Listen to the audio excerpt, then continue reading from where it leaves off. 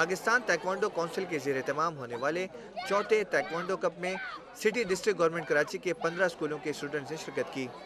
एक रोज़ा मुकाबलों में सबसे ज़्यादा पॉइंट्स हासिल करके जमालुद्दीन अफगान स्कूल ने पहली, राशिद मिनास स्कूल ने दूसरी और शिबली नुमान स्कूल ने तीसरी पोजीशन हासिल की।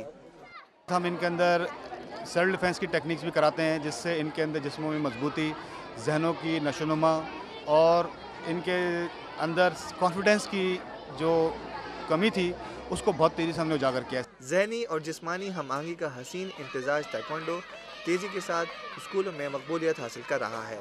सूबाई और कौमी सतह पर भी इस खेल के मुकाबले बड़े पैमाने पर मनद हो रहे हैं।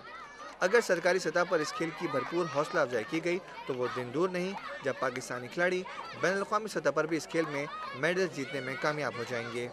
स्कोर के लिए कैमरामैन महबूब अली के साथ Wajid Razaswani, Geo News, Karachi.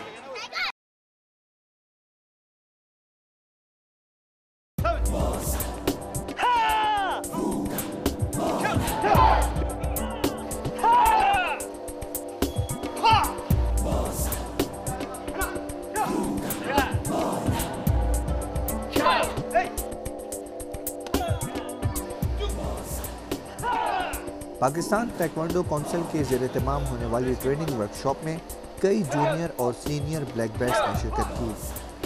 तरबती course में नौजवान खिलाड़ियों को पुमजे और किक्स और पंच की नई टेक्निक्स के अलावा जदीद सेल्फ डिफेंस के गुर भी सिखाए गए। तरबती कोर्स के इंचार्ज और वूमा पाकिस्तान के चीफ मास्टर रिजवान मुस्तफ़ा जुबैरी ने ऐसी वर्कशॉप को नौजवान खिलाड़ियों के लिए फ़ायदेमंद करार दिया। इन वर्कशॉप से कराने से लोगों के स्टेमिनास डेवलप हम करते रहते हैं साथ साथ अगर कोई कंपटीशन करीब आने वाला होता है तो हम उस कंपटीशन की तैयारी कराते हैं। अभी हमारे यहाँ पे जो हमारी पाकिस्तान टेक्वांडो फेडरेशन है, वो ब्लैक बेल्ट टेस्ट कंडक्ट कराएगी इस इस महीने के आखिर में। हमने ये वर्कशॉप जो मोस्ट प्रॉब्ली हमने पुमजे पे कंसनट्रेट किया है, क्योंकि इनके ब्लैक बेल्ट टेस्ट होने आगे एडवांस रैंकिंग इनकी होनी है Pakistan under Pakistan taekwondo federation तो हमने इस वजह से ये थ्री डेज़ का ट्रेनिंग वर्कशॉप रखा।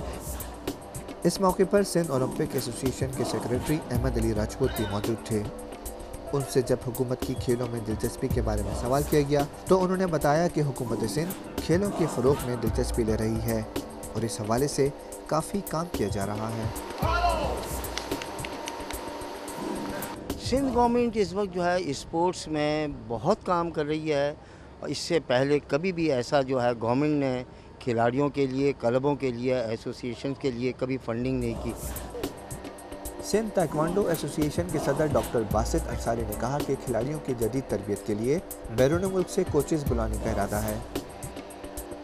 अभी हमारा जो सबसे फ़र्स्ट प्रोग्राम वो यही है कि हम यहाँ पर रिफ़्रेश कोर्सेज जो ट्रेनर्स, इंस्ट्रक्टर्स हैं, इनके लिए करवा रहे हैं। इसके लिए हम इन कोरिया से जो है हम बुलाएँगे, जो इसके टाइकोंडो के जो स्पेशलिस्ट हैं कंसल्टेंट हैं उन्हें, और फिर उनकी निगरानी और उनके साथ एसोसिएट करेंगे प्रोग्राम्स और फिर कोरिया के कॉलोब्रेशन के साथ हम काम करेंगे तीन रोज़ा ट्रेनिंग वर्कशॉप के आखिर में शुरा में सर्टिफिकेट तकसीम किए गए। स्कोर के लिए कैमरामैन आसिफ इकबाल के साथ वाजिद रजा स्वानी जियो न्यूज़ कराची।